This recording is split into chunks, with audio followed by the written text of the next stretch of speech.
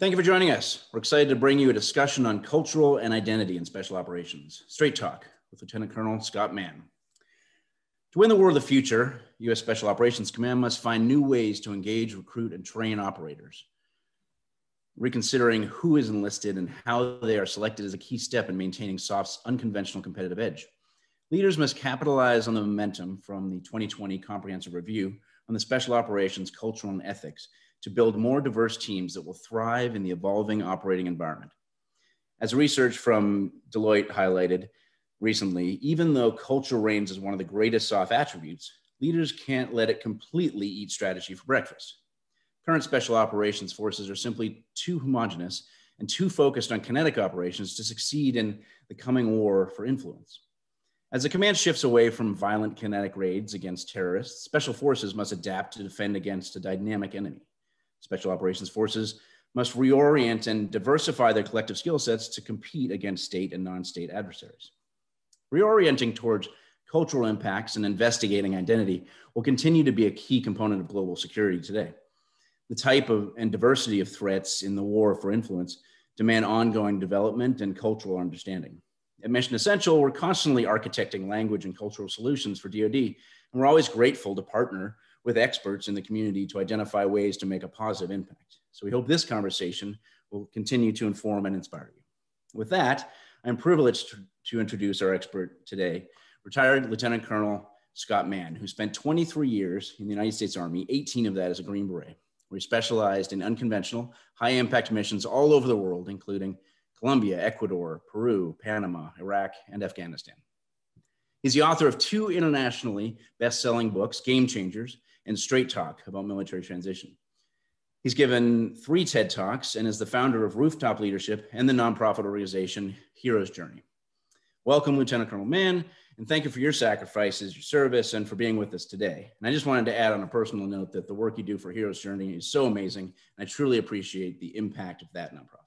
Hey, thanks, Brian. It's good to be here. And, you know, a big focus for all of us, I think, should be helping bring our warriors home and their families home from service as they transition. That's something that all of us, I think, can can get our head around. Well, I appreciate that so much, and I think uh, well, I'll be with you on that fight wherever you go. So consider me part of your troops. Thank you, and um, and all the great work you do. So appreciate it. Yeah. And so so we recently talked with uh, Colonel Ed Crute, um, who I believe you're familiar with, and, and the potential identity crisis within special forces. And Colonel Crute's exhaustive research identified a disconnect between recruitment, training, and deployment. So today, what, what I'd like to talk about is getting your perspective on this research and particularly how leadership and communication are foundational to developing the future of special operations, right? So I guess where we can start is, do you see an identity crisis within special forces and uh, or special operations? And if so, where?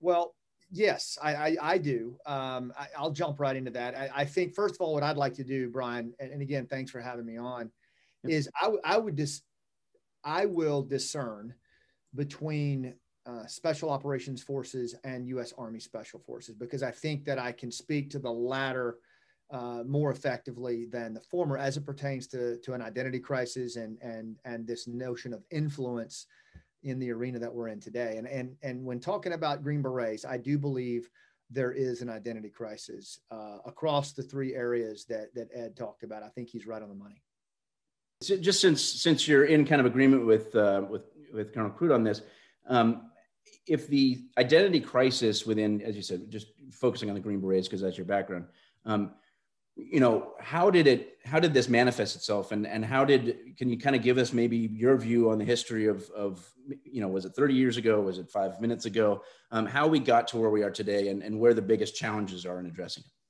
Sure. You know, um, the first thing I would say, Brian, is like I most of the work that I do right now after retiring from special forces eight years ago is I spend a lot of time in the civilian sector.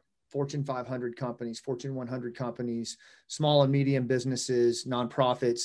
And what I do is I focus on influence. I focus on high stakes engagements, communications using a lot of the old school interpersonal uh, attributes that that I learned as a Green Beret and that I've worked on over the last eight years to turn into more of a, a true methodology. And here's what I'll tell you: in most of my engagements in the civilian sector, very few people really know what a green beret is. And that was when i first started to kind of like you know peak my, my eyebrows on that. I was like huh that's interesting. But also i encountered this when, when i shortly before retirement you know five years out from retiring in the interagency world i saw it a lot where you know three letter agencies really didn't know who we were as special forces. They knew who other soft organizations were but not so much us um, and and I just I think that's always to me an indicator of a bit of an identity crisis when constituents don't know who you are and when your citizenry doesn't really know who you are. And what what I've taken to to help people understand that is I, I'm a storyteller, and I try to use you know because the brain every human brain is a metaphorical pattern matching organ. Like the brain makes sense of the world through story right? So i use story to help people understand who Green Berets are pretty quickly. And I typically say a Green Beret is like a combination of uh, John Rambo, the uh, Lawrence of Arabia, and the Verizon guy or the Sprint guy or whatever the hell we call him these days, right? And and what I mean by that is they are relationship based connectors who just happen to be lethal, but only when it's necessary. Other other times they work by, with, and through indigenous people, and they help them stand up on their own and and push back and achieve strategic effects that way. And and you know, people instantaneously get that. And maybe that some might say, well, that's an oversimplification of what we do. But I think if you really think about those three avatars and you walk it back to the evolution of special forces from the OSS, uh, working with the Montagnards in Vietnam, like Captain Gillespie and his ilk in the National Geographic article. If you look at the Ma Bell campaign in Panama, you know, you always saw these elements of that surgical lethality of, of that Rambo avatar, that um, you know that interpersonal by, with, and through technique of the T.E. Lawrence approach, and then that catalyst that could walk the halls of any embassy and create these uh, amazing relationships, these eclectic networks that would bring people together that otherwise no one else could seem to bring together. And, and I do believe those three avatars mixed into a different cocktail in every environment are are super relevant and they do describe who we are. And I, I think that we've moved away post 9-11 from those latter two avatars, the T.E. Lawrence approach and the and the Verizon guy, that relationship management. Uh, I don't see the same kind of application of skill work to that that we do to that direct action avatar. So, and, and since you brought up OSS and, and, and just, you know, the evolution of what what the Green Berets are, what you know, special operations in general too. But um, everything is significantly changed in terms of what we face on the battlefront, right? Um, the what I what I hear you just say is those three components, two of which are very non-kinetic aspects, right? Um, it seems like maybe we're spending more more of our time in terms of training and and enhancing the skills of say Green Berets or other special operators with more of the kinetic capabilities and not as much time on the non-kinetic. Is that, would you agree with that? And if, in, maybe kind of give us some more on how we could maybe improve our positioning there. Well, I mean, I, I think that's accurate. And, and if that was our only charter, you know, if surgical lethality was our only charter, then great. Like, I, I think there's a lot of um, components within the special operations forces community. And when we talk about they should be getting more to influence, I'm not sure I agree with that. you know, I think they should stick to you know, swinging a pipe surgically and doing what they do. You know, I don't think there's necessarily a call for them to be more uh, attuned to engagement, for example, or influence. But when you look at our history and you look at the things that we have done for the nation at a strategic relevance level throughout history, it has always been some measure of by, with, and through and strategic influence that we've brought to the fight that no one else really brought.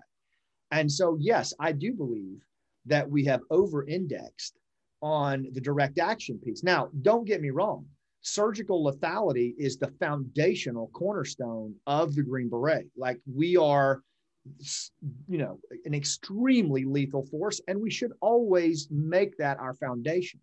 But I believe that today's context, and really it's timeless, we need that Lawrenceian by, with, and through interpersonal advisor. We need that Verizon guy that can walk the halls and implement relationship management and build, you know, networks in the face of complexity. We have to have that. And if we don't, I think we face a level of irrelevance that not only is kind of dangerous to the force, but also it really, I think it we fall short with what we're supposed to do nationally. So yeah, I think I think that we've we've we've moved away from that certainly post 9/11. Uh, mm-hmm. You know, 20 years of of a certain type of warfare, we've kind of self-selected away from those other two avatars.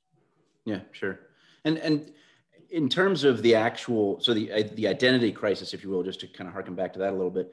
Um, I I think I've you know don't forget I'm a I'm a knuckle dragging Marine, so you got to bear with me here. Um, but the the concept that um, that Congress or or the different users of these um, surgical lethal lethal tools um, don't necessarily understand the identity of the Green Beret. Um, I get that part. It, now, let me just pull the thread a little bit more. Do you think the Green Beret itself understands the identity that they are tasked to perform in its entirety, or, or is there more work to be done there? I've seen, and, and I'm speaking anecdotally. I, I, can't speak to the level of data that Ed has. I mean, that that guy has just really gone deep on this. But I can speak anecdotally that I think it's a, at least a twofold problem.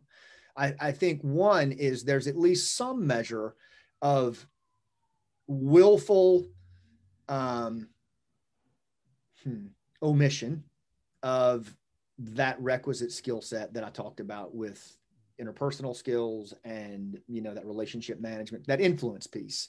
I, I do believe that there's a, there's just frankly it is it is not as sexy as the direct action approach. You don't get the same kind of feedback from it. It's harder to train. It's squishy. It's nebulous. Um, and and in my entire time in, in in special forces in seventh group where we do a lot of this by with and through in a semi-permissive environment the front end work on that from a certification and training perspective was minimal, minimal. And so there just there, there was not that much emphasis on it. So there's almost like a to some degree in some circles there's a willful like you know we just don't do it uh, because it, it doesn't have the same uh, I feel like uh, reciprocity feel that direct action has. Um, mm-hmm. and then on on the other side, I think in some cases there are a lot of folks that came into special forces who were recruited specifically for that direct action approach and that surgical approach and that's what they saw in the recruiting posters and that's what they were told and that's what they got to a large mm-hmm. degree in, in, in theater and so there's now i think a, a certain level of presence inside the regiment that also believes that's just who we are and that our past is either outdated and irrelevant or you know they were never exposed to that so they don't they don't really have an appreciation for it. For example, anybody that was pre 9 11 in seventh group is referred to as the salsa brigade. Right. I mean, I mean, seriously, like that, that gives you an idea of the in-group out-group mentality surrounding one operational group pre 9-11 and post 9-11. And it's yeah. it's striking. Yeah. That's interesting. And and I guess so let me um let's go down that path a little bit in terms of understanding um, where we are today, and you know, feeling feeling like I, I have three children myself, and and I'm um, always concerned that the schools that uh, they go to, the instructors they have, the teachers they have, are maybe teaching to the test too much. Um, so that's where this question is coming from, and because recently, First Special Forces, you know, released a new vision and mission statement.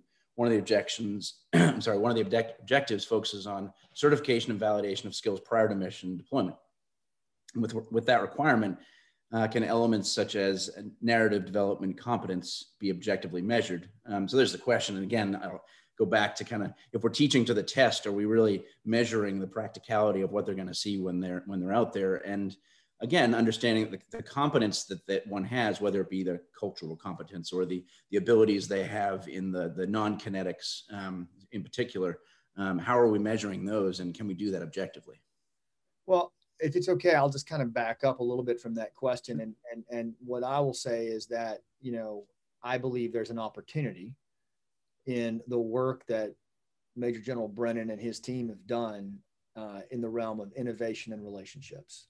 You know, like I believe those two lines of effort offer, and they're, and I think they're right. I, you know, all four lines of effort, but those two in particular really jump out at me as a as a Green Beret. That that's a real place for uh, Green Berets to continue to carve out their real estate of relevance in mm-hmm. this current domain. And so, to your question, you know, I think the opportunity here, Brian, is that the same okay so the same way that we work to improve, improve our hit rate with surgical lethality training da to the highest level uh, i believe there's an opportunity for green berets to do the same thing and level up their engagement skills with that verizon guy and with the the t lawrence approach and what i mean by that in the last 10 years there is a ton of data and science that helps us engage more effectively Mm-hmm. Whereas when I went through the Q course, you know, in the in the 90s, uh, and really before that too, you, if to establish rapport, you either had that you either had that ability or you didn't. And if you didn't have it, you were washed out. And if you did have it, then you you went and did great things. But rapport was talked about all the time, but it was really not trained. It was just mm-hmm. expected that that was an instinctual attribute of the Green Beret. You can establish rapport or you cannot. We know now through a ton of, of, of just body of work stuff that's coming out in the human connection realm, mostly in the civilian sector, that rapport, relationships, reciprocity, uh, high stakes engagements, um, narrative competence, uh, active listening, these are things that elicit high levels of reciprocity from the other party that create social capital and relationships. And man, that's what SF has carved its niche on for decades. Why mm-hmm. would we not bring science to the art of engagement the same way that we bring science to the art of DA? You know, there's a mix. And right now, I think the opportunity is to do that. And we're not doing that. We're, we're relying, I've, I've, I've taught at the Q course 18 alphas for several years now. And, you know, my takeaway is that we're still relying heavily on instinct of human engagement uh, at a hmm. basic fundamental level, right? And and we could dial that up, and we should because that's the real area I think for influence for Green Berets in, in the coming years is to get into these places and build deep relationships and create influence. And the last thing I'll say on this, Brian, is you know, influencing another human being to take action. There's a science to that. There's a skill set to that and you know if you rely on instinct your hit rate's going to be about 65 70% if you if you dial in the skill and you bring to bear those old school interpersonal skills with the recent science of narrative competence and open-ended questions like you can take your hit rate for engagement way up and create higher levels of reciprocity and move people. And i guess that's my that's my answer to all of this is that there's a huge opportunity here within the last 10 years. There's a body of work around human connection that I don't, I mean, the, the civilian world that I work in is paying attention to it because it's a bottom line thing for them. But I don't think it has migrated in this, into the into the SF world yet.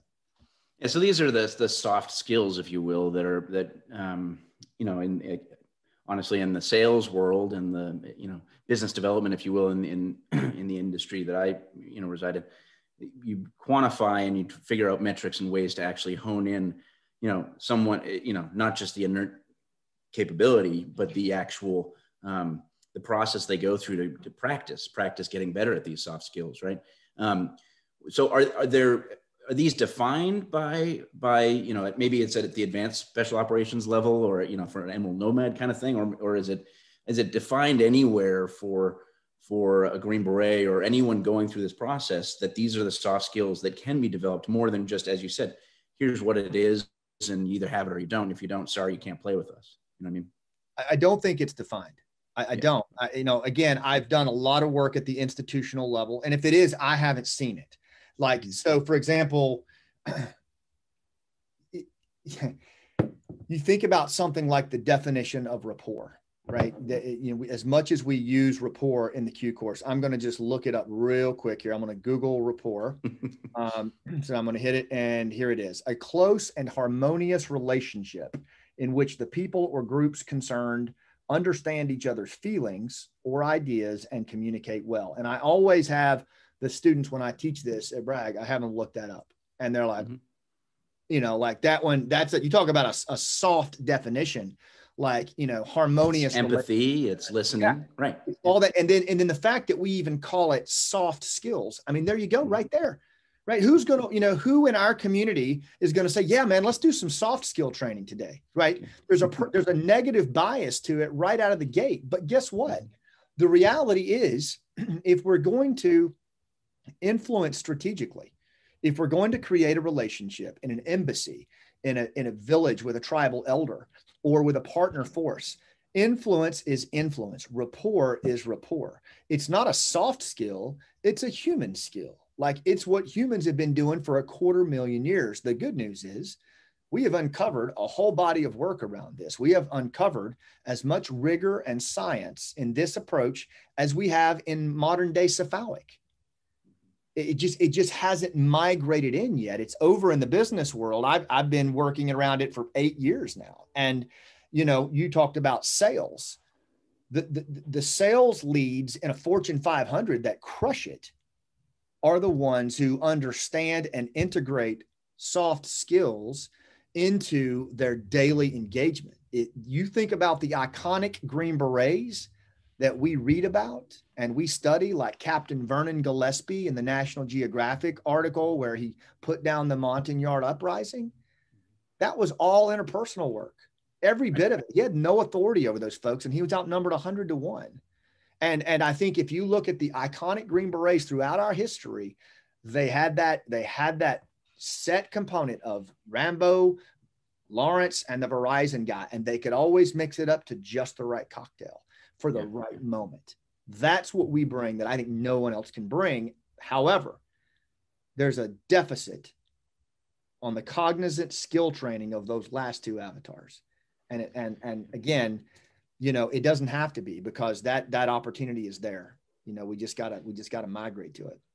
Yeah, absolutely. And, and, and but do you actually you actually believe though that it can be measured, like these soft skills oh. can be articulated, yeah. measured, and, and taught, right? Yeah, absolutely. And, and I mean, I see it all the time. So let me give you a couple of examples. Just these are just a couple, right? So when you go into it, when you go into a high stakes moment, whether you are briefing your battalion commander, the ambassador, or you know, or or, or a partner force, if you use a PowerPoint deck, which all soft units that I've ever worked around, not only do they use PowerPoint, it's atrocious how much PowerPoint we use. Like it, it hurts we use so much PowerPoint. And there's studies out right now that show that within 30 seconds of ma'am, thank you for your time, 90% of the content is forgotten.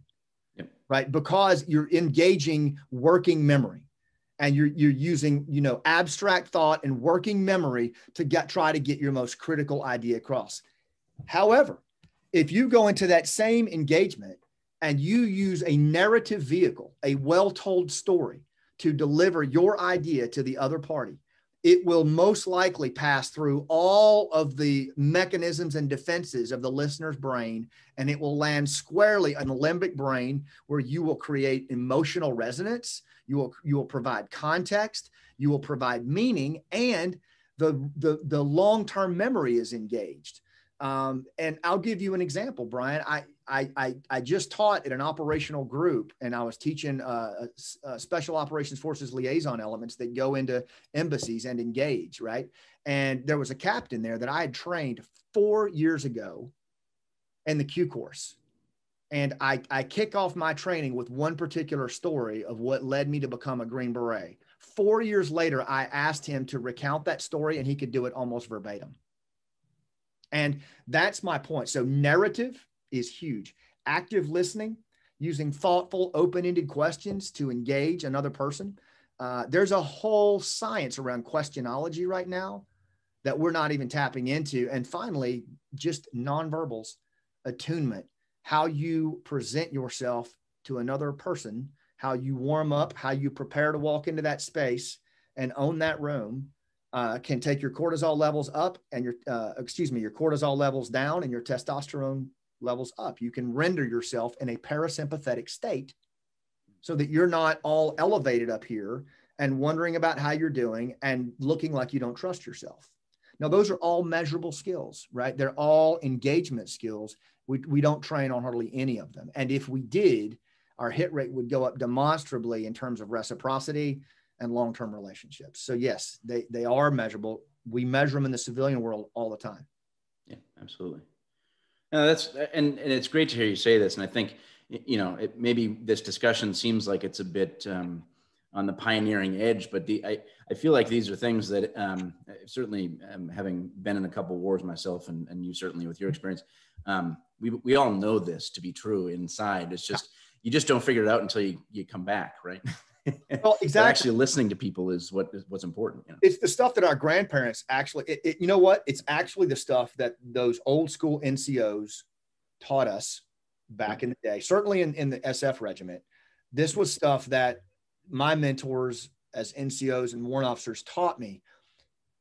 The difference, Brian, is we were operating on instinct then. We, we were relegated to instinct, you know, and you can't train instinct.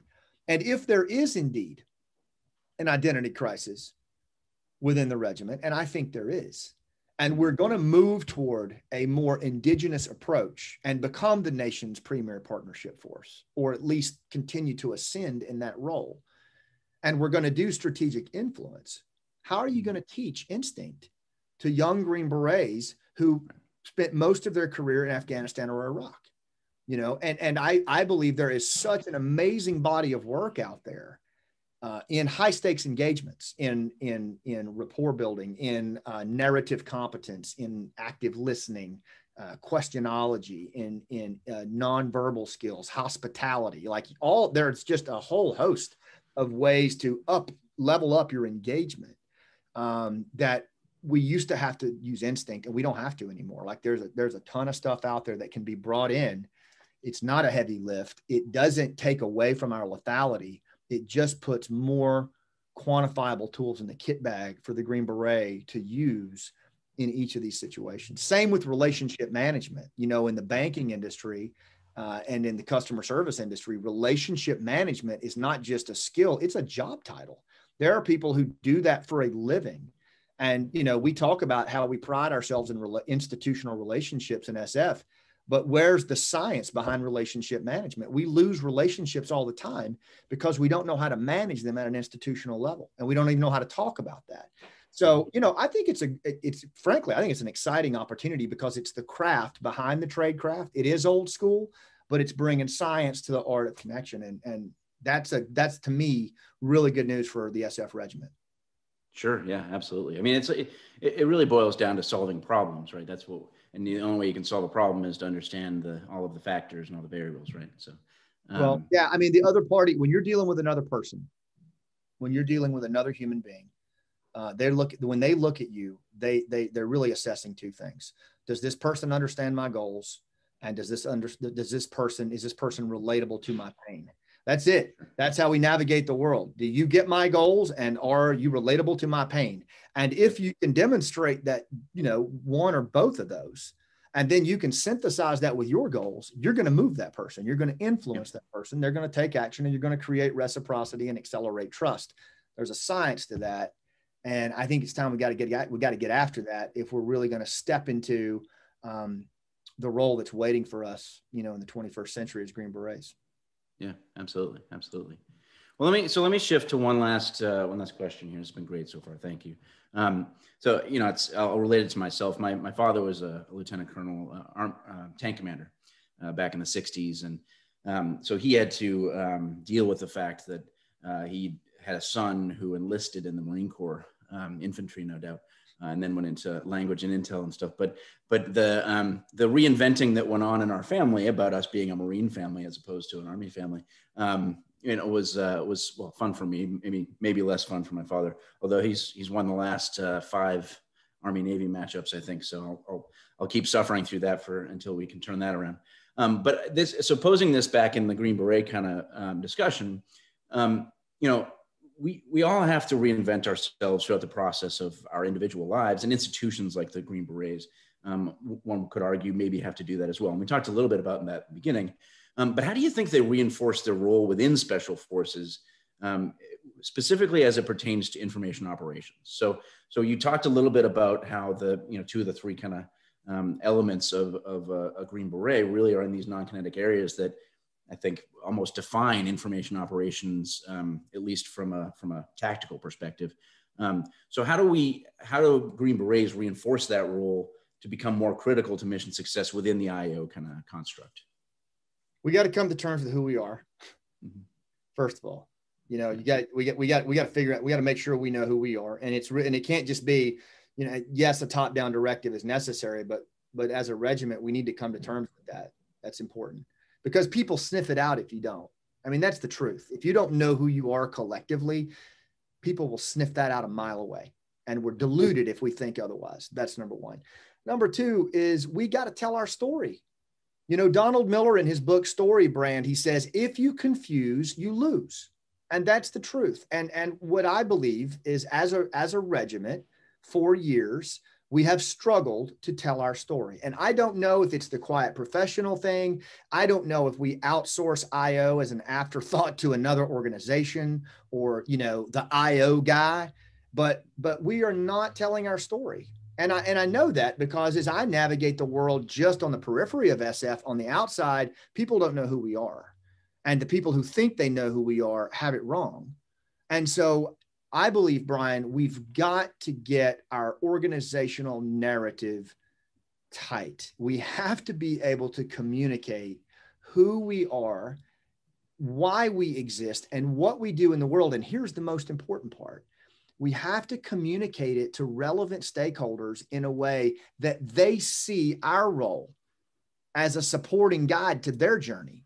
Like we have to be able to tell the Green Beret story to Congress and to partner nations and to ambassadors and country teams in such a way that they see themselves as the hero in that narrative and the green beret is someone that's showing up to help them fulfill on what they're supposed to do.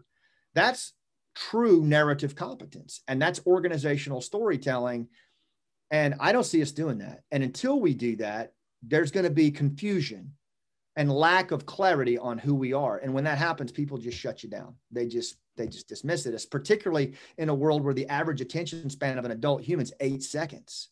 I mean, that's like a second less than a goldfish.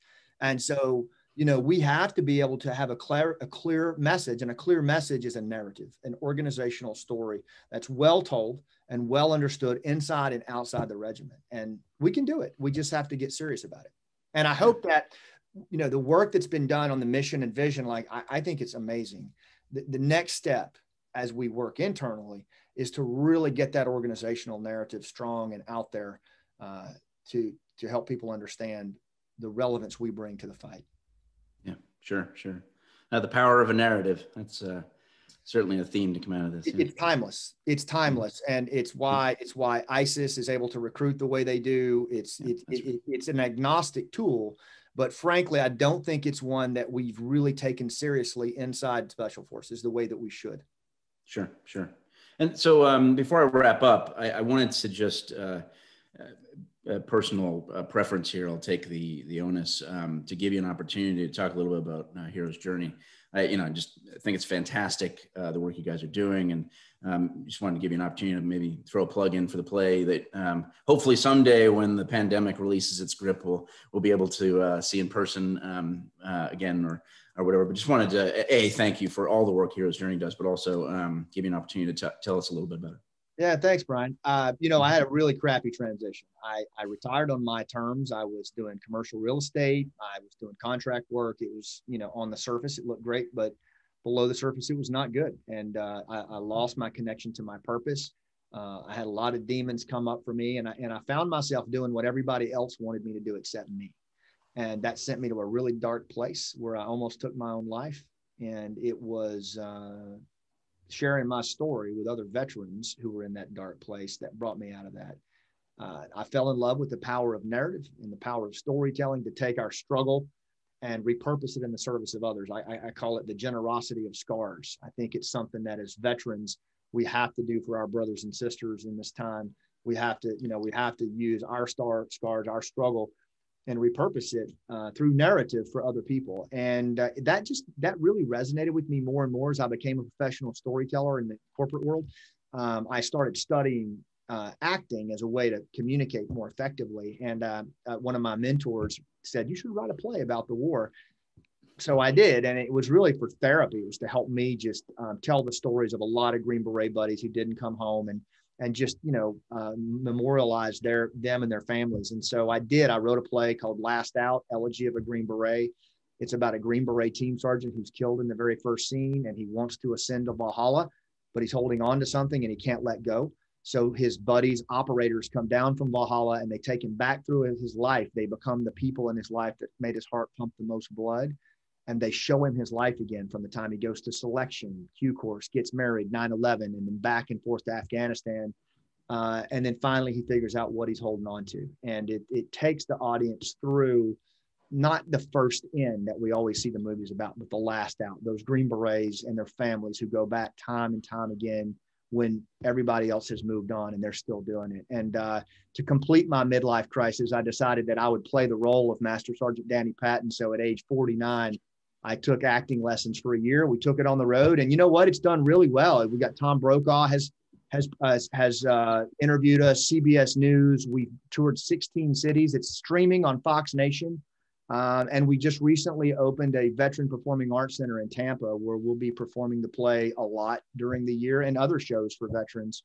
Uh, so, you know, our, our nonprofit, The Hero's Journey, is all about helping warriors find their voice and tell their story and getting that narrative competence as they come home. And we use the play to show the power of story. So thanks for letting me put it out there. If anyone wants to learn more about it, you can go to theheroesjourney.org, H E R O E S theheroesjourney.org and you know support us on our mission yeah that's great that's great and I'll, we'll, we'll get that up on the screen uh, for for everyone watching i mean really like you know the the I, some people in the midlife crisis go out and buy a you know a, a convertible or a corvette or something and um, your your uh, choice to write a play and and do everything that you're doing i mean truly you're the they're the courage it takes to share your scars with the world certainly um, are a gift to me and i know uh, you know, thousands of other people. So I appreciate it. Thanks so much. I feel like I'm telling everybody's story. Certainly my brothers that I served with in the regiment, but but guys like you see the play and they came up and they say,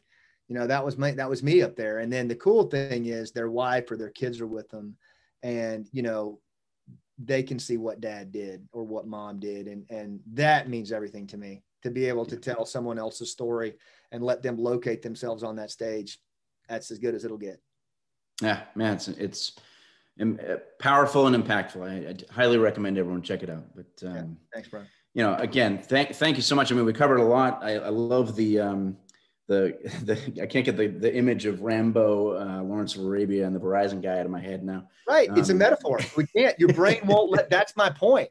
That's my point. Is like our brain is a metaphorical pattern matching organ. If we're not telling stories that have metaphors and framing, we're miss we're missing we're leaving social capital on the table. Yeah, absolutely. No, and and you know, and I, I think the other thing I, I, loved hearing you talk about was how soft skills are, are not um, not glamorous, but but and they're harder to develop, honestly. And and but and, and and again, not to take away from the importance of the of the surgical lethality, as you put it. I think that's a key component, um, but just understanding that it complements the other other sides of, of the equation as well, I think is important. Um, well, what using science. Yeah. What I love about our special forces culture is that we do have that lethality. We do have that Lawrenceian skill, and we do have that Verizon guy catalyst relationship skill. And it's the operator that can work that toggle on himself or herself to show up in the right chemistry for that situation. I mean, damn, like that is that is quintessentially what the Green Beret has done since we were founded.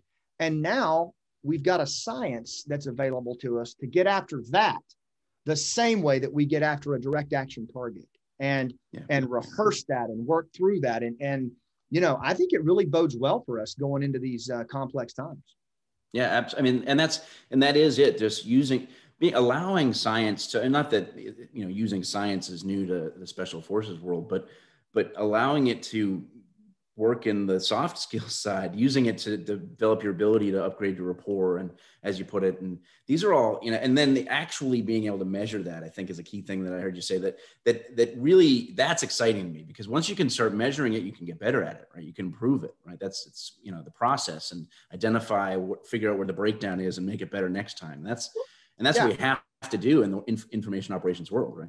Exactly, and I, and particularly in influence, and I wouldn't let the term science run me off. And what I mean by that is, like, for example, if you're out on the flat range, and you know any Green Beret knows the ball and dummy drill, right? Where where you where you use this drill to get better with your pistol, and that is science. Like that's a, that's an application of science to get technically more proficient at your uh, at your at your weaponry. All right. Well, you take the same approach if if i put you in an engagement where you're going to rehearse your engagement with the ambassador and you do role reversal and you play the ambassador for two repetitions after doing homework on that ambassador and you play her as accurately as you can and everybody else fish bowls you, that's science. And the odds are your hit rate in that engagement is going to be way higher in terms of influence than if you just talked about it in the truck ride over about what you're going to say, which is a lot of times what we do.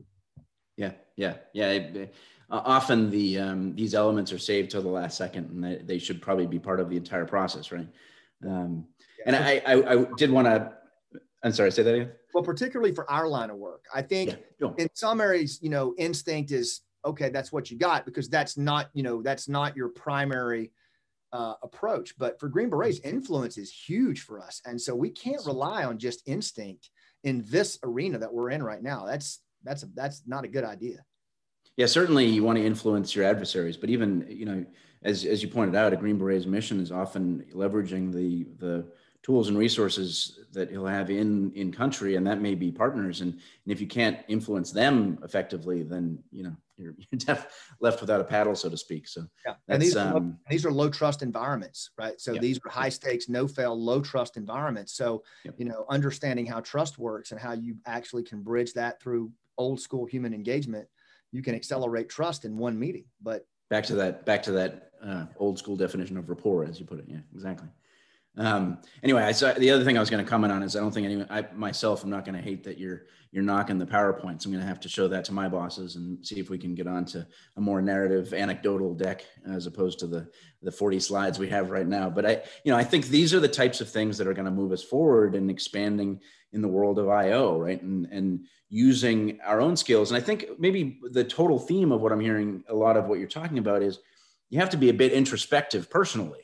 Every maybe Green Beret, but everyone who's in this IO world has to understand where their strengths and weaknesses are so that they can apply them to the spectrum of the information operations world, the influence world, right? There's a strong body of work, Brian, that says that all modern people have disconnected from our nature. We've been on this earth for 250,000 years. We've been modern for about 250 years, and we've completely disconnected from what's below the iceberg. We are meaning seeking, emotional, social creatures. That's who we are, and we've disconnected from that. And the reality is that the first thing I do is I I I, taught, I say, look, we got to get reconnected to our nature. We got to know who we are. We have to understand how reciprocity works. We have to understand how status and honor works, shame, feud, vengeance, hospitality. These are all the primal characteristics of human dynamics that are still with us today. And if we understand that and we can get below the waterline and, and, and, and leverage that or not let it act on us, depending on the situation, I mean, if you do that, then you'll know that story has been used literally for 70,000 years since a, uh, a cataclysmic volcano went off to help us survive by providing narrative transportation of traumatic events so that we experienced it as if it were our own event. That's why we love the storyteller because we feel like we were in the story. That's 70,000 years old.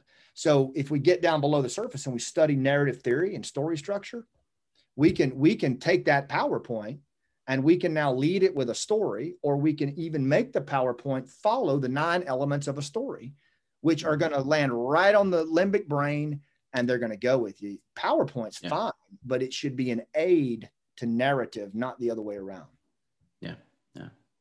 Well, I got to tell you, I, um, um, and I feel lucky to have gotten the chance to, ch- to chat with you, and I'm sure uh, anyone who's watching will also feel the same. I, I think um, it's great uh, what you're doing with your energy, and as much as your transition uh, was not ideal, um, I think many of us can say the same thing. Uh, you certainly are heading in a direction that makes it a lot easier for a lot more people. So, so kudos to you, and thanks for all the hard work you do and all of your insight on this topic. It's really just fantastic having you in our community. So I appreciate it. Uh, thanks, Brian. I wanted to be a Green Beret since I was 14, and being able to just comment on a regiment that I love so much, and and so many of my brothers are still with, and it just it means everything to me. And so i, I really am, am very grateful for the experience i had in special forces and to you for having me on to let me talk about how we can continue to stay relevant because that's all i care about is how we stay mm-hmm. relevant to the nation. Yeah certainly our pleasure uh, for sure. Uh, look forward to maybe another conversation in the future. That would be great. Right on all right well thank you for watching we hope these uh, con- conversations continue to inform and inspire you as we all look for ways to better our global understanding and make a positive impact. Until next time, Stay healthy and stay safe.